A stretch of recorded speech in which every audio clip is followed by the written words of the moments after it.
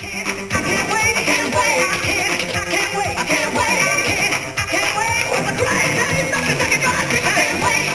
it the Colonel's secret blend of 11 herbs and spices? Is it the way it's cooked? Whatever it is, when you lift the lid on a box of Kentucky Fried Chicken, people can't wait to dive in.